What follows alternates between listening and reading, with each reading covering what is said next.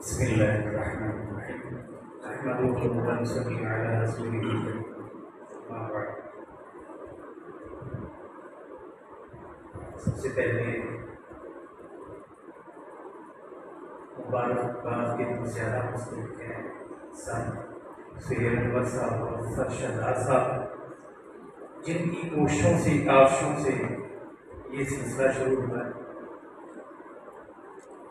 मेरे पास और कुछ अल्फाज तो नहीं है कैसे शुक्रिया अदा करूँ। मैं एक्चुअली लाहौर में था पूरी जॉब करता था। सुहेल साहब से शदाब साहब से, काफ़ी पुराने कलकार हैं, दोस्त हैं, भाई हैं, बहुत ख्याल करते हैं। तो मैंने अपने बच्चों का एडमिशन करवाना था तो मैं सुहेल साहब के पास आया।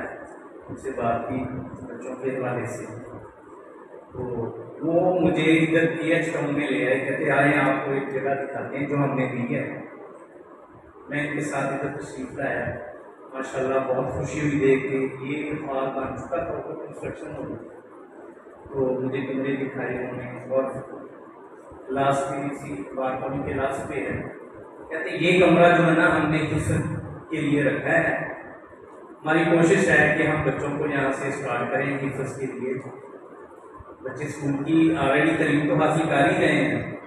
लेकिन हमारी दिली ख्वाहिश है कि बच्चे यहाँ पर अल्लाह का कलाम भी हिफ्स करके जाएँ उसकी तरीके के साथ साथ।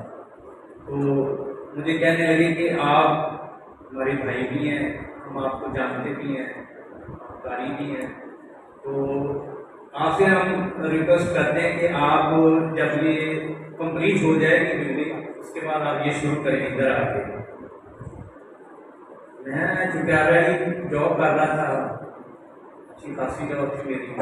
अल्लाह का एक सिस्टम बनाया हुआ था। एक दफ़ा नहीं, दो दफ़ा, तीन दफ़ा जब भी मैं आता था, मुझे यही कहते थे। मैंने अपने वाल साहब से मशवरा किया, वालदा से मशवरा किया मुझे ये ये शेर साहब हैं कह रहे हैं कि आप उधर पुराने पाक के तरीक़ों से मेरे बच्चे ऑलरेडी पढ़ रहे थे। अलहमदिल्ला मेरा बच्चा एक पढ़ा है, वो लाहौर यूनिवर्सिटी में सी पी में सी ए कर रहा है सी एस और वो बच्चे इधर पढ़ रहे हैं। मेरे वाला साहब कहने लगे, वालदा कहने लगी, बच्चे, हमारी फैमिली में कोई बच्चा हाफिज कुरान नहीं था। मेरे वाल साहब ने जिस तरह मेहनत से दिन रात ये करके मुझे तलीम दिलवाई, पुराने बात की। आप यकीन करें, मैं सुबह तहजद की नमाज़ के वक्त मेरे वाल साहब उठते थे। उन्होंने घर में एक हिस्सा हमारा घर का था, वहाँ पे भैंसें रखी हुई थी उन्होंने। सुबह उठना उन्होंने, सबसे पहले पानी गर्म करना, पानी गर्म करके मुझे जगाना, मुझे अब वज़ू करवाना। उसके बाद भैंस का दूध निकालना, उसको गर्म करके लेके आना मैं मुझे पिलाना। और फजर की जो नमाज़ होती थी, मैं मस्जिद मदरसे में जाके पढ़ता था।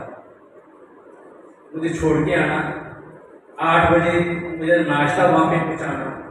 उसके बाद उन्होंने अपने ऑफ़िस में भी जाना, एग्रीकल्चर डिपार्टमेंट में वो फ़ील्ड असिस्टेंट क्रॉप रिपोर्टर थे। उसके बाद ग्यारह बजे फिर मुझे घर लेके जाना, ज़ोर के वक्त फिर छोड़ना। असर के वक्त फिर लेके जाना, यार, ये अपनी ड्यूटी के साथ साथ उन्होंने इतनी मेहनत की। मैं आज सोचता हूँ तो मेरी आँखों से आँसू आते हैं।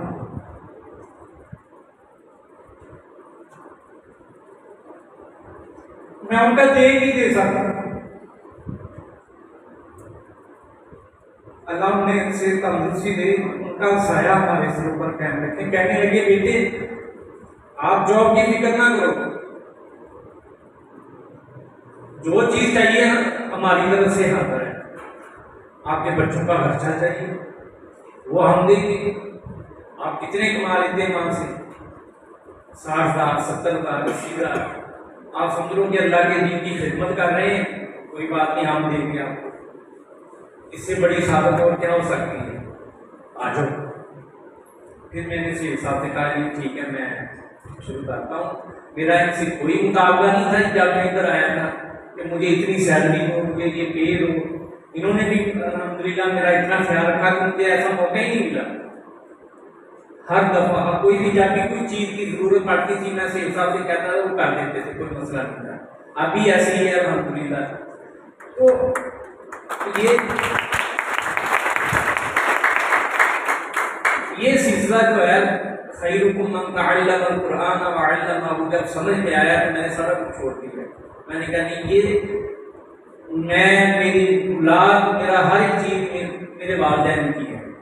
उन्होंने जिस खातर जैसे प्रबोध वो करके, मेहनत करके मुझे करीब भाई पढ़ाने का तो वो कह रहे कि हमारे लिए ये सदका जारिया है। जितनी देर तक हम ज़िंदा हैं, मरने के बाद भी अल्लाह ताला आपका हामी नासर होगा। उसके बाद हमने सिलसिला शुरू किया। आज अल्हम्दुलिल्लाह अल्हम्दुलिल्लाह। अल्लाह ताला का जितना भी हम शुक्र अदा करें, वो कम है कि मेरी वजह से, अल्लाह की वजह से, अल्लाह ताला ने वसीला मुझे बनाया था। तो मैंने मेहनत की, बच्चे ने मेहनत की अल्हम्दुलिल्लाह। तो आज पहला बच्चा जो मेरी क्लास का है, उसने का पुराने पाक कंप्लीट किया है। इसमें बच्चे की वालदा का बहुत अहम करदार है। अल्लाह ताला ने इसी तंदुरुस्ती अता फरमाए। उन्होंने उनका शौक था। ये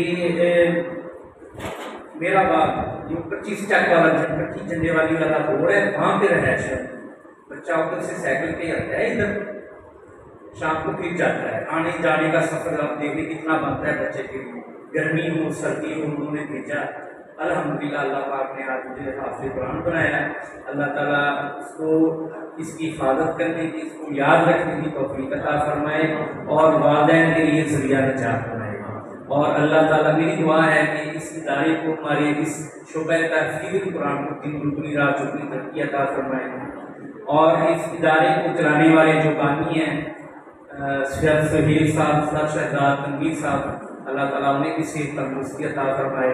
उनकी काशों से एक सर शहजाद साहब और सर शहीद साहब। मैं इनका जितना शुक्र अदा करूँ काम मैं क्योंकि सर शहजाद साहब जब भी क्लास में आते हैं, दोस्त है मेरे वैसे भी, शुरू से बड़ा उनका तल्लक था। जब भी आते थे, इतने खुश होते हैं, ये कि मैं तारीफ़ ही कर रहा हूँ। वो मुझे यही कहते हैं कि कैसा मैं जब क्लास में आता हूँ बच्चे जब कुरान पढ़ रहे होते हैं, मेरा दिल खुश हो जाता है। हम कहते हैं कि नहीं, हम, हमने जो कदम उठाया था, हमने जो स्टेप लिया था, अल्लाह पाक ने वो, ये ज़रूर कबूल कर रहा है। ये इसलिए हमारे लिए भी सबका जारिया है, हमारे वालदेन के लिए भी सबका जारिया जो बच्चे पढ़ रहे हैं, उनके वालदेन के लिए भी सबका जारिया अल्लाह ताला इसको इसी तरह आबाद रखे, कैम रखे, जो हजरात इसके साथ तामल फरमाते हैं, गाहे बगाहे, जब भी उनकी रहनमाई की ज़रूरत उन्हें होती है, वो तशरीफ़ लाते हैं, उसमें सर बहुत नहाय से, अदब से इस तरह से मैं नाम लेता हूँ। सर, प्रोफेसर इकबाल आबद साहब हैं और सिकंदर ससराना साहब हैं मुजम्मर भाई साहब हैं और बहुत सारे अहबाब हैं। अल्लाह ताला इनको सलामत रखे से तंदुरुस्ती फरमाए, हमारी रहनमाई फरमाते रहते हैं। Lagi.